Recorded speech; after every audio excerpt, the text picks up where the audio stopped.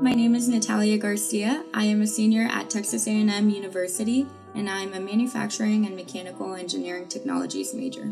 My love for engineering was really pushed forward during my high school rocketry program. Extracurricular activities that I'm part of is undergraduate research, student engineers council, and traditions council. I think one special skill that I have uh, revolves around photography and video. And it's an outlet of like creativity and really releases the stress and just lets me kind of like be free. This past summer, I interned for Boeing in St. Louis. Since high school, I was interested in aviation with my rocketry program.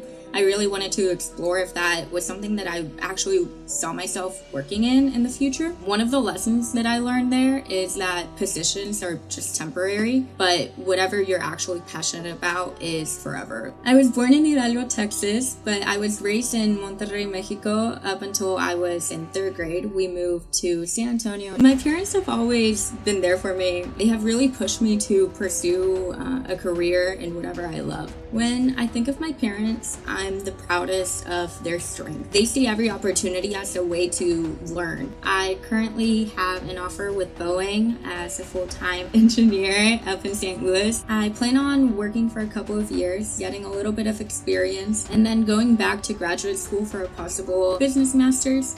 After I've achieved all of my career goals, I hope to give back to the world by being one of the people that others can look up to. My name is Natalia Garcia. I am a senior at Texas A&M University studying manufacturing and mechanical engineering technologies, and I am HSF.